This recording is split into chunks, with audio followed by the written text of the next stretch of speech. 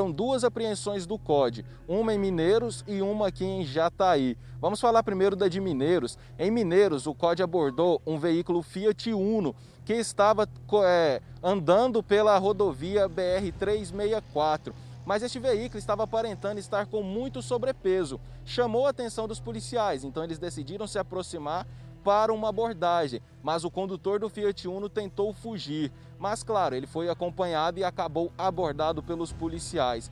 Quando os policiais revistaram o Fiat Uno, encontraram dentro do veículo quase meia tonelada de maconha. A droga foi apreendida, o veículo também, e o condutor recebeu voz de prisão por tráfico de drogas e tudo foi levado para a delegacia de Mineiros.